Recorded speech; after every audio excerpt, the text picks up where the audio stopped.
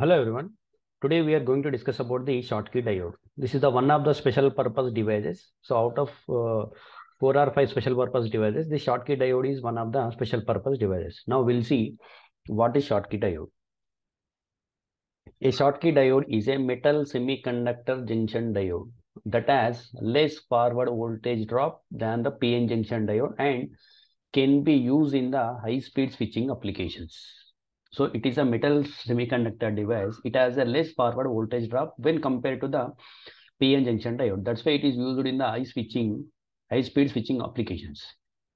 If you see the symbol of the Schottky diode, this is the symbol of the Schottky diode. It is having the two terminals, anode as well as the cathode. Okay. Now, if you see the anode terminal, it is made up of metal. And if you see the cathode terminal, that is a N type okay and it is called as a junction. But here when we compare with the pn junction diode here we are totally we are replacing p type with the metal. We are not using the p type here.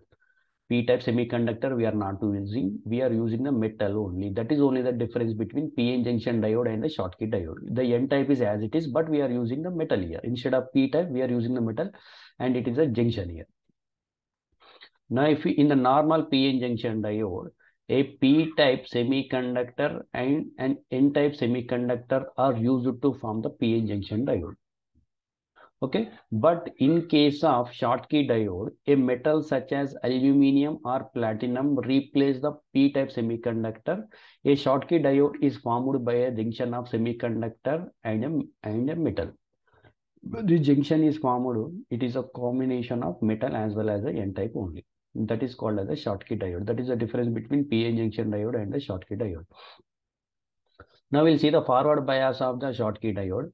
In the Schottky diode, this metal is a metal, the majority carriers are electrons here. Electrons are indicated by negative sign and the minority carriers are holes. But in the same way, in N-type the majority carriers are electrons and the minority carriers are holes. That is only the difference when we compare with the PN junction diode. In PN junction diode, in the P-type majority carriers are holes. But here we are taking, the, as we are taking the metal, in the metal, the majority carriers are uh, these electrons indicated by the negative sign only. And the minority carriers are holes, that's by positive sign and this middle these ions are called as the negative ions and it is the positive ions and it is a depletion region. Depletion region width is very low in the forward bias of the Schottky diode. It is a positive terminal of the supply and it is a negative terminal in and it is the supply voltage is indicated by vs. When a forward bias voltage is applied to the Schottky diode a large number of free electrons are generated in the n type semiconductor and the metal okay in the metal as well as the n-type the large number of free electrons are generated. However a free electrons in n-type semiconductor and the metal cannot cross the junction unless the applied voltage is greater than 0.2 volts. Unless we give the 0.2 volts at the supply voltage this uh, charge carriers will not cross the junction. Here we are giving positive terminal to the metal and the negative terminal to the n type. To the metal and the negative terminal to the n type then this Schottky diode will be in the forward bias mode. And this Schottky diode will be in the on state when the supply voltage increases up to 0.2 volts 0.2 volts. Increases up to 0.2 volts then only it will be in the on state condition. Up to this up to 0.2 volts unless we give the 0.2 volts greater than 0.2 volts it will be not in the on state condition. So that is about the uh, Schottky diode forward bias mode. But while in case of the PN junction diode we have to give up to 0.7 volts in case of the silicon diode and the 0.3 volts in case of the germanium diode so that's why the forward voltage drop of the Schottky diode is very less. That is 0.2 volts only. If the applied voltage is greater than 0.2 volts, the free electrons gain enough energy and overcome the built-in voltage of the depletion region. As a result, electric current starts flowing through the Schottky diode. If the applied voltage is continuously increases, the depletion region becomes very thin and finally disappears. So if we increase the uh, forward bias voltage, so this depletion region width will become very thin and finally it will be disappear. Hence the current flows between this uh, metal and the n-type in the Schottky diode. if you see the reverse bias of the Schottky diode, in the reverse bias, we will reverse the terminals here. Negative terminal, we will give it to the metal and the positive terminal, we will give it to the n-type. Then the uh, this Schottky diode will be in the reverse bias condition.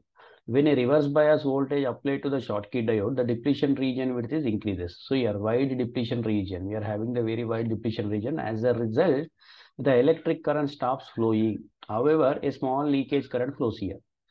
As it is reverse bias, there is no current flows, but because there is a small leakage current flows.